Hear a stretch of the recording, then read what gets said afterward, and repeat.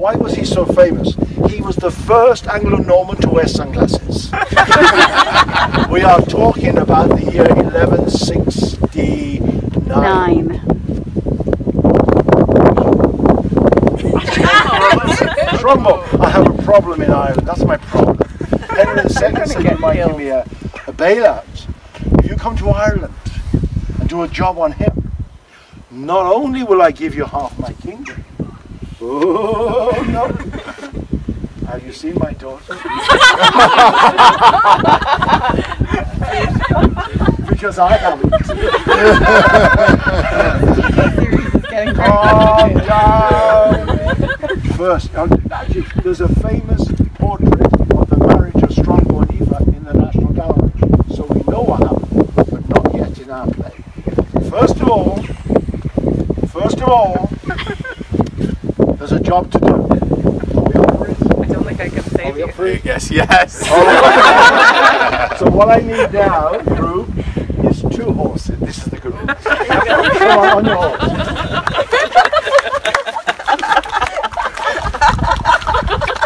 Behind. Keep going. So 1169, the Normans come to Ireland. But two years later, when the King of England sees the Normans coming, he doesn't want them to get all the tart, all the cake. Now this is the good bit as well. No horse, no horse. 400 troops. Ferns, near Ferns again, yes, yeah. In the southeast of Ireland, the King of England comes. But like, yeah, You're the king. Oh, yeah, oh yes. I'm arriving. You- you- you- come on then, come over here. Very good. Round of applause for Henry. That's enough. That's enough. That's enough. Now, I warm your hands. now. Okay, what am I getting into here? Now, so, in 1171, the English come, and they don't leave until uh, 100 years ago, 1916, which you've seen in Dublin. Uh, we invited them to leave.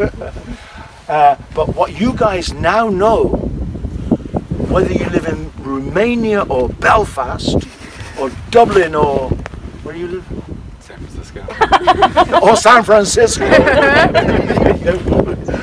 is all the problems between England and Ireland, all those centuries, tension. You know, you've probably seen it, but what you guys now know is something that many Irish people don't know. Who is to blame? Who is to blame?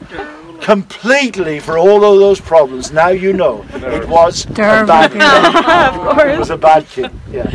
A round of applause for the lovely Dervagilla. Am I dying for No, no, no, no. She finished as a nun. Oh, and She died at the age of 85. Forget about her. at the age of 85 in Mellifont, north uh, west of Dublin. Yeah, that's where she, died. But So I was celibate that whole time. we, I don't we, we don't part. That. talk about those things in combat noise.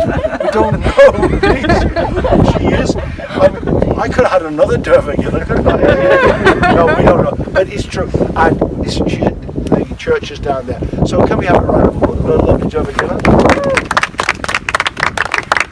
A boo for the husband. and we won't even speak about the English.